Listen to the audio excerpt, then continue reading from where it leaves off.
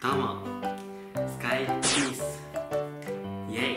ということでただいま撮影中なんですけどもテオくんはですね一昨日昨日とほぼオールな状態で睡眠時間がめちゃめちゃ少ない2日間だったんですね。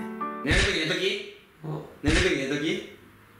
テオくんがねちょっと今寝てるんだか、ね、起きてるんだかのそのちょうど狭間にいるんで眠い人間って見てるのめっちゃ面白いんですよね。目と。かもめっちゃアホでなのでテオくんが何分で寝るのかっていうのを検証していきたいと思います。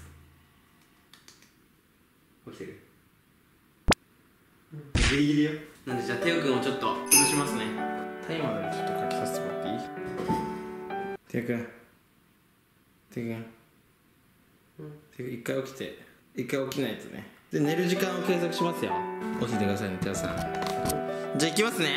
できるだけツイッターいじってて起きてなきゃいけないから最初は。了解。テオくん寝るまでの時間です。いきます。よーい。今起きてるよね。今起きてるもちろん。携帯とかいじってて全然大丈夫。よーい。スタート。俺じゃあちょっと出かけてるから。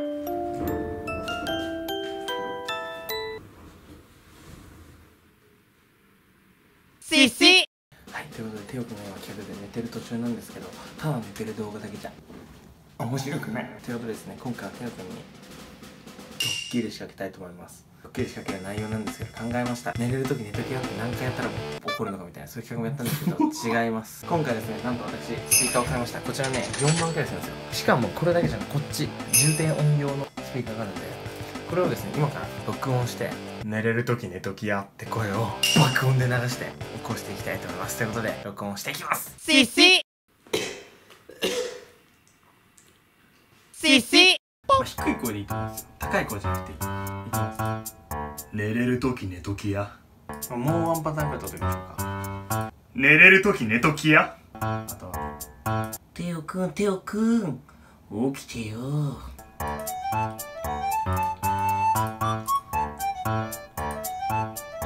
手動ズームすんな。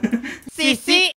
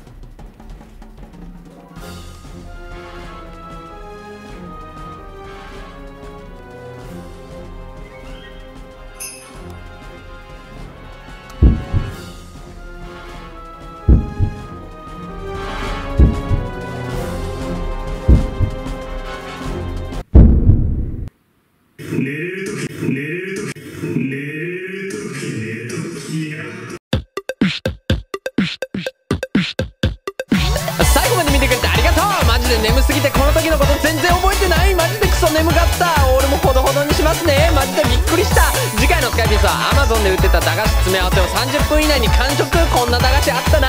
そんじゃまた明日もよろしくピース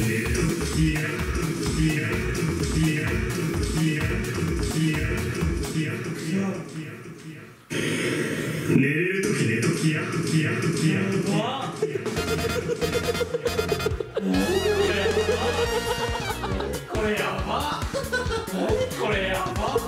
きやきやテオくんテオくん起きてよ。